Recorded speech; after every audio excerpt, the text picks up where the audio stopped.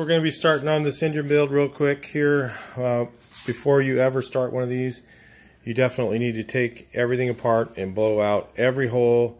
Uh, take carburetor cleaner, spray it in all the holes, or, or brake cleaner, spray it in all the holes, all the oil galleys, every hole, like here, here, I mean everywhere.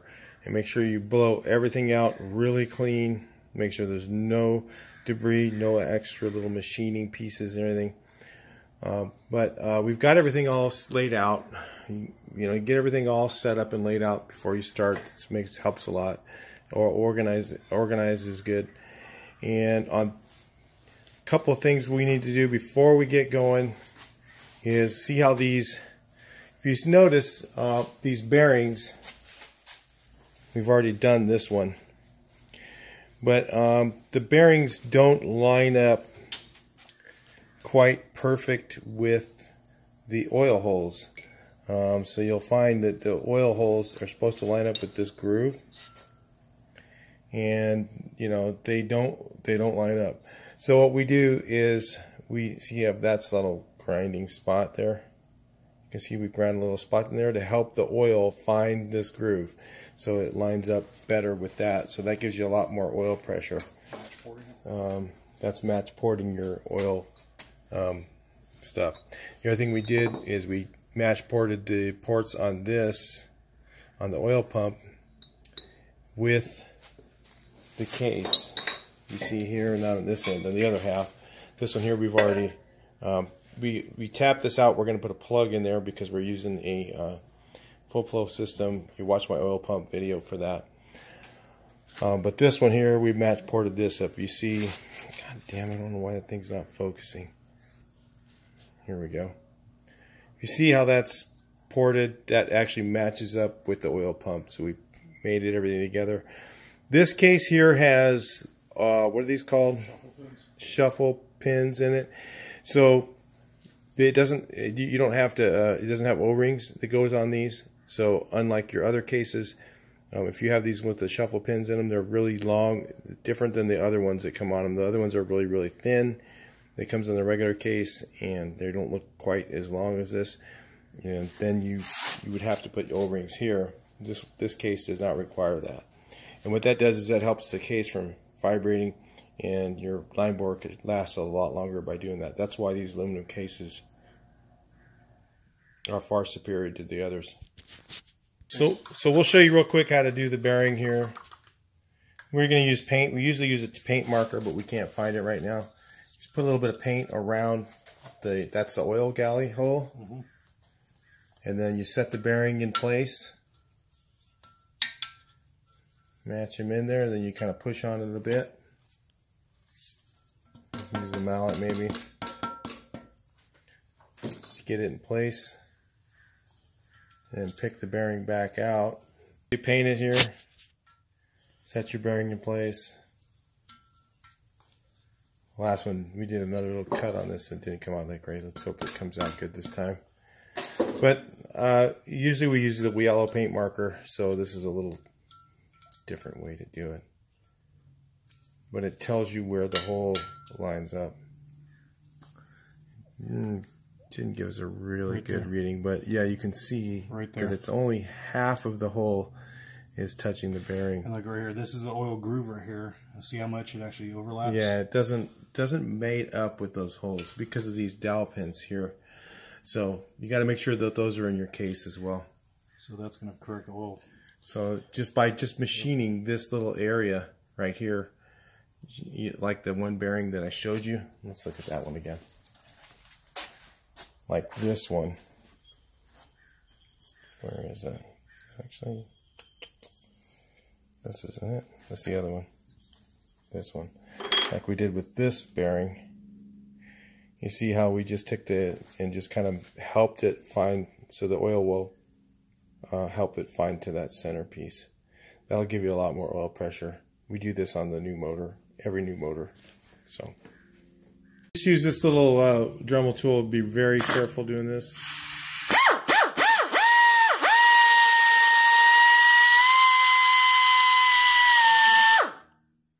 And then that's all it needs. Just a little bit just to kind of help the oil find the groove. So in these stroker cranks, they have all of the, they have little plugs in them like this. And you need to take out all these plugs. Okay. And then you need to clean everything out. Out of side, you know, blow it all out with the same way. Make sure you use brake spray and a lot of air. Make sure that the, there's no machining stuff still in there. And then when you put these back in, you need to use some red Loctite put it on the threads, and then put them in place. Yeah, red Loctite, put them back in, make them tight. Make sure you do that. If you don't do that, we've seen them come apart just from that. In place. So with the Woodruff key in place, we use a hot plate. Some guys use a torch. You can do whatever you, whichever way you want. Uh, we just use a hot plate because then it makes a nice consistent heat. And then they're both sitting there hot. You can just slam them both on. And we use pliers to put them on. Some guys use a glove. Um, those things get pretty freaking hot. Um, pliers is a good way to grab them. So you don't have to worry about the gloves. Okay, this end here goes down. And you fall it on the ground. Right after you just cooked it. Oh, we should do that in slow motion. No, I'm just kidding. All right, so go ahead. The notches go down, and we mark. We've got our bearings marked. If you can see the little marks there, we didn't have our paint markers, so usually we'll use it for that too. But you can just scribe it in there real carefully. So it goes down. Make sure it's the right direction. If you get that upside down, it's a pain. You gotta pull your gears back off. Okay. Then we'll go ahead and set the gears on one at a time. The dots are facing up. The dots are facing up. Mm -hmm. I'm going to get out of his way a little bit. Sometimes that happens. It's tight. A little oil on there helps. Spacer. Spacer next.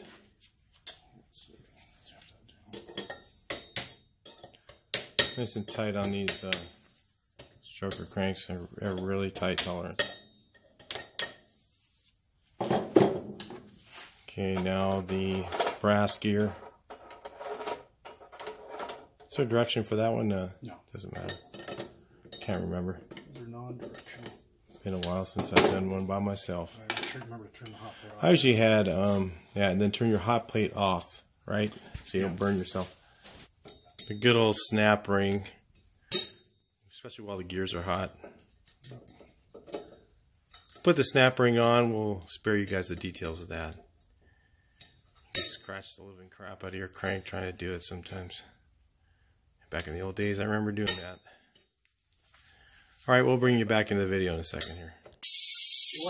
This all while it's hot, so then we cool the crankshaft down from there.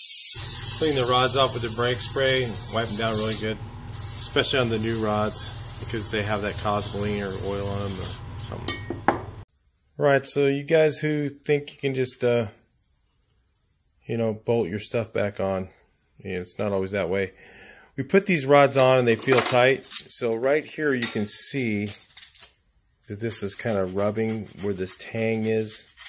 And sometimes the machining is just a hair off. And so what you got what we do is we just kind of lightly kind of sand that area down and very carefully fit these to the journal. So, um, just so you know, I mean, this is kind of more of an expert type of a thing. I mean, if you're not up for the game, listen, you know, CB Performance builds these things really good, and so does, there's another place that's local to us called uh, Brothers Machine Shop. They build a really nice motor, um, and they, they really put a lot of care into putting it together. You're going to pay a lot of money for it, but you do have to fit some of the stuff. Um, so those had to be just lightly sanded, and we put them on, tighten them up, tap them, tap the sides of them with a hammer lightly, and kind of make sure that they seat properly, and then tighten them up a little bit tighter. Then tap them on the sides, and then tighten them up to the torque spec, which we're not going to give you. We're going to let you guys look that up for the rods you got, because you know we may or may not be right. So um, I'd rather somebody else tell you something that's not correct. But um, but we we believe we have the correct specification for it. but I'm just telling you, um, have at this. It's, it's a little bit of fun. Once we get past this point, usually it's pretty easy, but um, you really want the bottom end to just move freely. If it doesn't, if you tighten up, you put tighten up the rods and they don't move, got to take them apart, start looking at them, and look for stuff like that. If you can see that little spot where it's kind of crushed looking, that's what you need to work on. All right. All right, so I'm going to show you. I'm going to show you guys here um, this stock rod, so you can get this. It has, you know, if you look at the books and stuff, they have they show you to put this part up on your rod, and these new rods, and you can see these little tangs here, they go down. So the new ones, the chromoly rods, one of the reasons you need these rods is because they're clearance in the back here, and uh, and they, they also have stronger bolts in them and stuff, and they're stronger rods. But what you want to do is you want to put them on so that the tangs are down. So that's you're mimicking the original, but you don't have that mark that they show in the books. If you ever have an old Volkswagen book, it'll show you this little this little thing here. These don't have it. So we're going to go ahead and assemble it up. Now we've already put this all together and we've already put them together one at a time and carefully went through and uh, looked for tighten them up you know and then made sure that the we noticed that the bearings were where those little tangs are maybe their machine work was slightly off we went ahead and adjusted that by just sanding the bearing a little bit perfectly okay it's nice and tight now that we tighten them up you'll see um, you put all the rods back on make sure you have the things in the correct position here these little tangs in the right position. Yeah, on this side, right there. And, um, you know, so those should be facing the camshaft. And then you go ahead and, and put, we're just using motor oil, right? Motor oil? Well, it's a little bit of a couple different things. It's uh, 2050 Marvel Mystery Oil and Assembly Lube. Assembly Lube and Marvel Mystery Oil. That's what he uses. Everybody has a different formula. Some guys just use motor oil. That's fine. Um, I'm the old school guy who uses uh, uh oil and STP together mixed, you know, but it, sometimes that can be a little bit too thick, especially for this kind of a motor.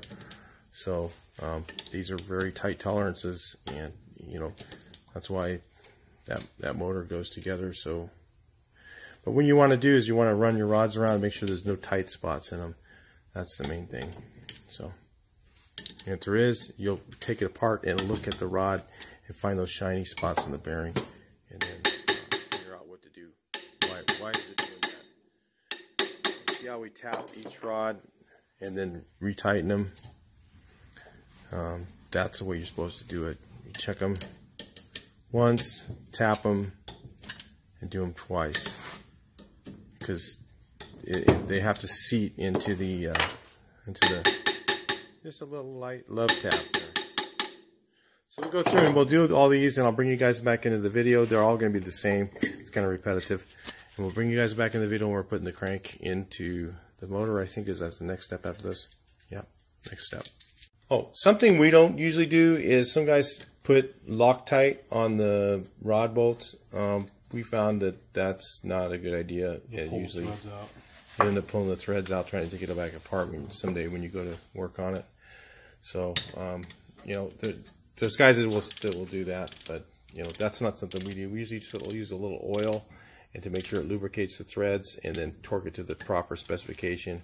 And usually that does it. I mean, some of your H beam rods and stuff like that, um, they they have stretch issues and stuff like that. That you know, those are those are things. You know, it's better if you just don't even get into that and wait till you know it's something you have to graduate into. You know, going from a stroker from regular block to a stroker is a little bit more work and then uh, even with the aluminum case you know the cool thing about the aluminum case is it's a bolt-in type of thing versus uh, you know if you have the regular other one you have to have it machined and uh, so anyway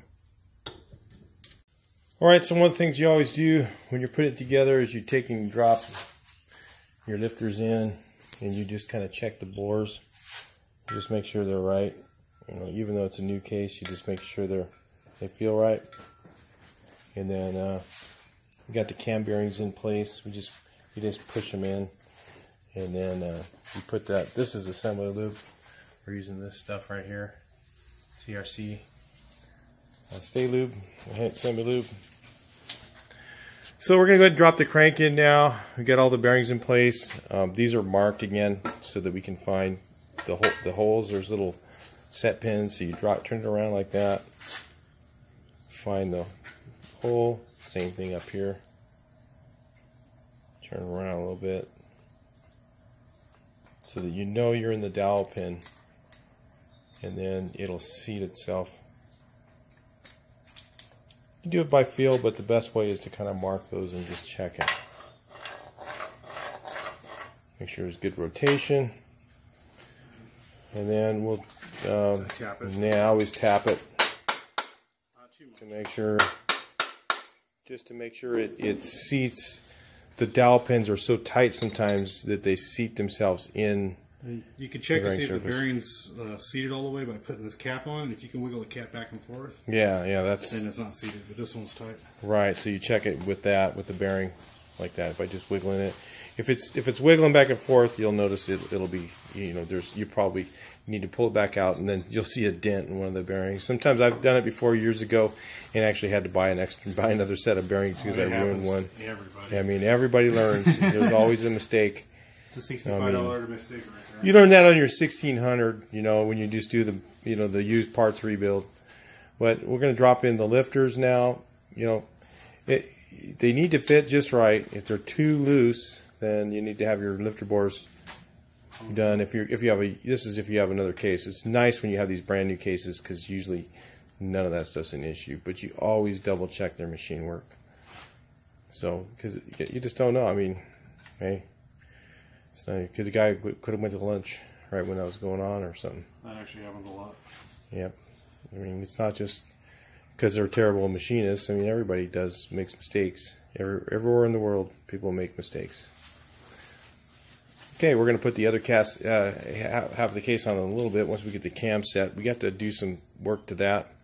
Um, we're going to actually, on the lifters, some guys you'll use oil, some guys use a special cam lube. Um, sometimes we use uh, STP and oil mixed. If you don't want 100% STP, because STP is so slippery, your cam may never break in. So um, we use a little bit of oil and some STP together, because that has ZDDP in it, and that helps to make sure the cam's lubed properly during the break-in process. And there's going to be so much oil on there, pretty much it's going to wash some of that off and put it into the oil. But it gives it that first few minutes of you know slide, you know. You always wipe the STP is a great stuff for for assembly lube. I, I, used, I used to do all my engines by just using STP and oil mix. I learned that. That's what I learned doing V8s, everything. Cam plug. Drop that in. Here's your cam plug here. We always use silicone. I like this brand right here, Versachem Mega Black. Uh, we use that one and everything. Is that one open yet? Yeah. That stuff is like super strong. You put that on there, man. That's just it's like a permanent gasket. You can put it in either way, but we use, I usually put the flat side to the inside uh, because if you have an auto stick or something, then you'll have an issue because it'll the flex plate will hit against that and just wear a hole through it. But I always run them this direction right here. That way you're covered either way. Does it even fit? Yeah, it fits. It's kind of a tight one. It'll fit. There. Yeah, it's a really tight fit. That new case is just it's weird, man. This aluminum is different. You know, one thing that's nice about the aluminum, I mean, everything's really tight fitting. When you go to pull the case halves apart, it's really tight, even more tight than a than a mag. Doesn't flex. You know, it's just a really strong way to do it. Always put a little Now, what are you going to use around to to seal the case, Chris? Are you going to? Hopes and dreams. It's a Volkswagen, man. Everybody uses different stuff. I mean, listen, there's a there's a million different ways to do it. I mean, I've heard of guys using silicone even, and you know, uh, their motors don't blow up. You know, I think uh, I was watching VW Darren, and I was pretty shocked because a lot of us don't use that. Um, the guys out here use Yama Bond. I mean, that's Honda one thing. Um, Bond, There's Honda Bond. There's We did Yama Bond. We've done this stuff, the Permatex number two for the case I Um. I've seen guys use the the just silicone. I mean, they say that silicone has a film, and I don't know. You know, I think they all work.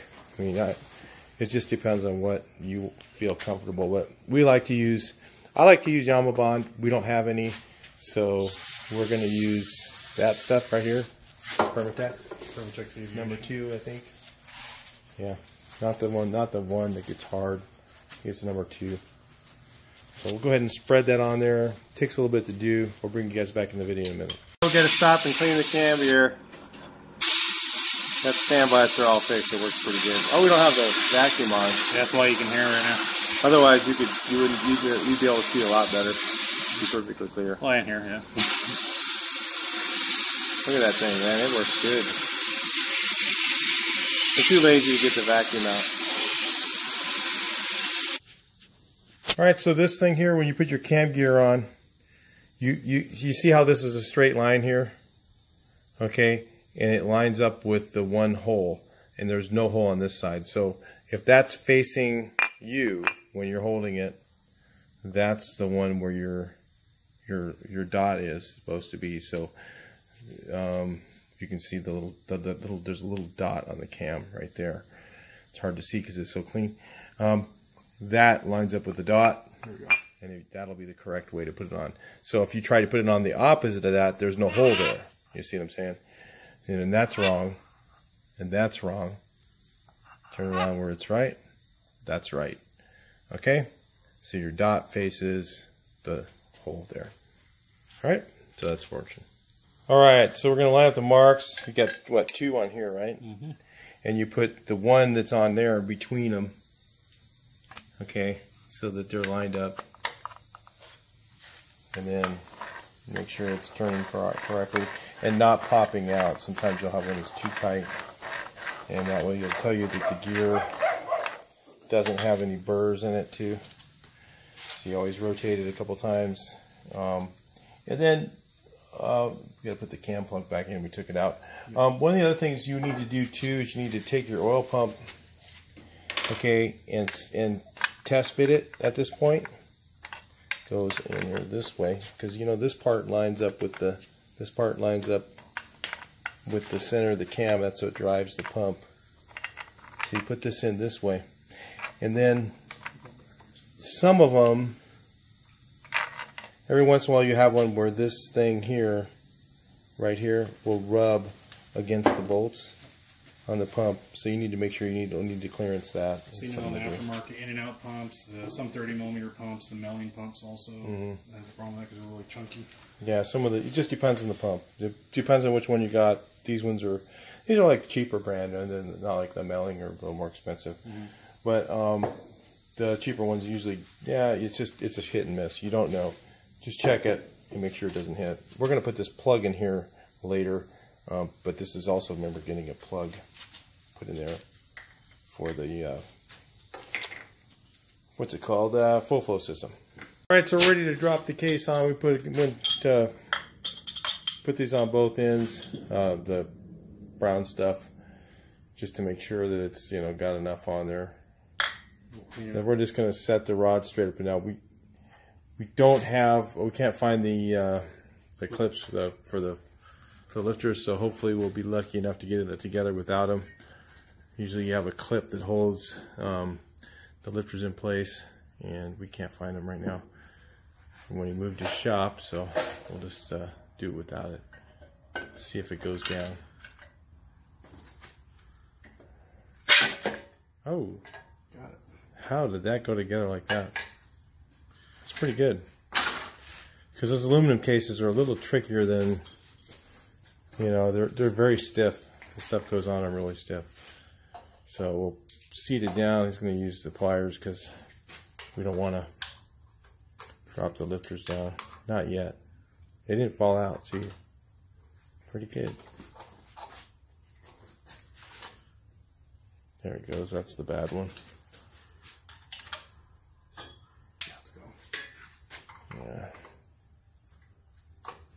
Put the, uh, the center studs put the center studs in and tighten them up a little bit slowly. Just start in the middle. The nice with the aluminum, you know, you, it doesn't it's going to be really hard to to to ruin. You know, like a mag case, you got to be really careful. I mean, they're so fragile. Aluminum's a lot stronger.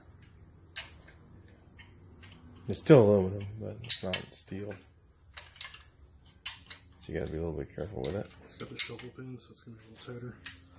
Yeah, these has the shuffle pins in it, so it doesn't have the O-rings. Remember, around usually you have these rubber O-rings around all these studs between the case halves, but this one doesn't have that because it's got shuffle pins. What that does is stops the case house from rubbing together. It makes it a lot stronger.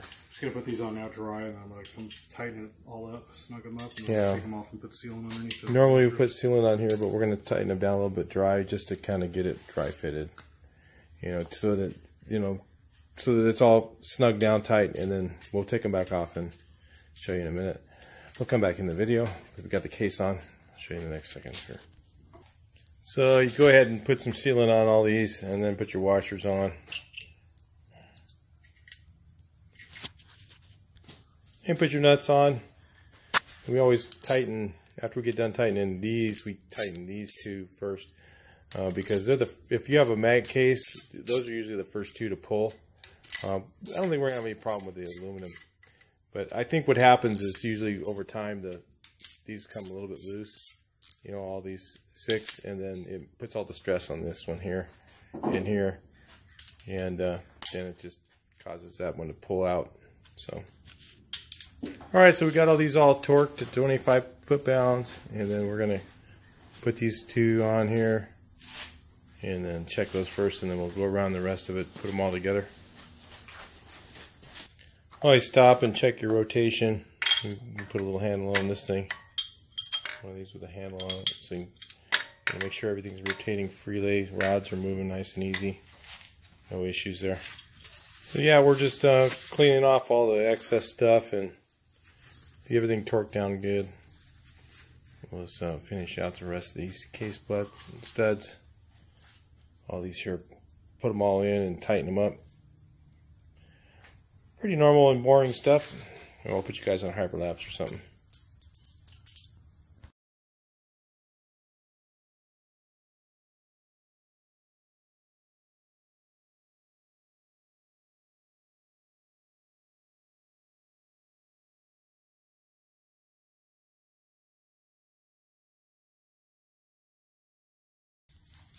All right, so uh, we went ahead and dropped one of the cylinders on here. We still got to put case saver, uh, put our case savers in, uh, and then well, we've already checked the deck height. Uh, we use uh, we're going to use this tool right here um, to get these Harbor Freight tools. If you don't have one of these, you can actually use a straight edge and a feeler gauge. I mean that's the old school way to do it, or they have a deck height measuring tool. which is still straight edge and Yeah, which is feeler gauges. well, it's like a steel, a straight edge and a feeler gauge, you know, and then find out what your deck height is. On this thing, we found it was like 58 thousandths, pretty tight. You can't just run it like that. Um, and we have to check both sides. We'll check this side, we'll pop it off, we'll do the other side, and it should be 5 thousandths difference between one side and the other because this case has this little stair step here.